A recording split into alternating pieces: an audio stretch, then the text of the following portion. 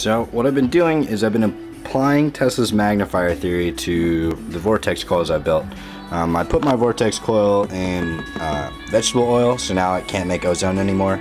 Um, same driving circuit as before, except now I've added a resonator. Um, and I'll just show it working. Um, so we are going to turn it on. We're using about 45 volts, 2 amps, give or take. Um, now it's called a Tesla magnifier. Um, there's a lot of notes on here, but basically this is the voltage we get um, off of just the coil. Has trouble staying tuned. It's really, really finicky. But so now we base feed it into here, and this thing acts as a quarter wave resonator. And it works so well that we can get sparks that are almost an inch long. So, there's no spark over here. Nearly close to that. And we're putting in 45 volts and we're getting almost 30,000 volts out over here. Um, so this is a way of essentially putting energy into the environment and not letting it go back into the transformer. Um, this coil is free floating coil. It's got a resonant frequency of 250 kilohertz. Um, that one's 50 kilohertz. And the cool thing is harmonics also make voltage, just like tuning forks and the harmonics of sound. So basically, what this is doing is my driver or the vortex coil is supplying a voltage at a certain frequency. And that frequency is all dependent on the inductance and blah blah blah conventional stuff. but when you take this frequency and you give it a physical structure to vibrate with, um, so what I mean to say is if you take the speed of light and divide it by the frequency of the driver, 50 kilohertz, you get the wavelength. The wavelength, 6,000 meters. So if there's a, a length of wire that was 6,000 meters long, it would develop standing waves on it that would be at, um, you get voltage maximums at one quarter and three quarters of the wavelength.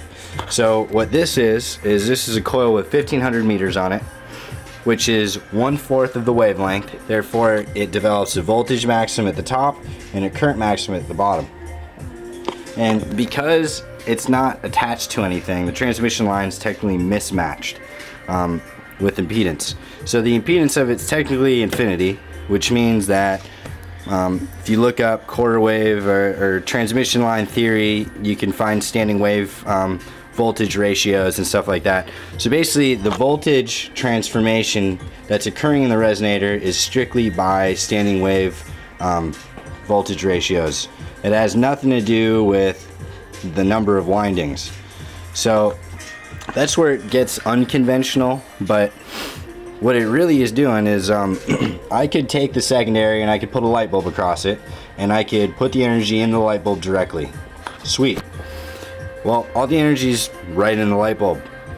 If I put the energy into a structure that can resonate, um, that's not in any inductive correlation to my driver, now instead of energy getting stuck in the secondary and reflecting itself back, it can feed itself into this resonator which stores the energy and doesn't have anywhere for it to go except into the ground.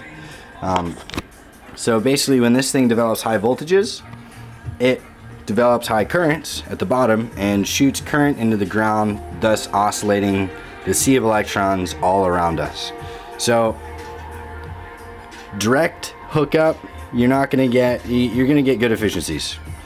Um, but when you put energy into the surrounding medium, um, your efficiencies don't make sense anymore because now your electrons are coming from the sea around us and not from your power supply, which is this thing. So basically, the more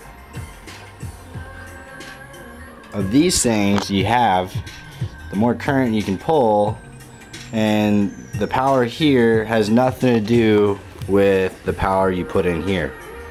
So I hope this clears up a lot of the confusion as far as um, what Tesla is trying to do, um, the efficiencies. Um, it's not free energy, it's just way more efficient. And uh, if you power this thing with a solar panel, then you can power up a bunch of stuff around your house with the same power that it would take to light up like one light bulb. You could put it into the ground, light a bunch of light bulbs off of the receivers you build. So it's just an idea and it works exceptionally well. Um, you, you basically balance a frequency with a physical structure that it can actually vibrate with.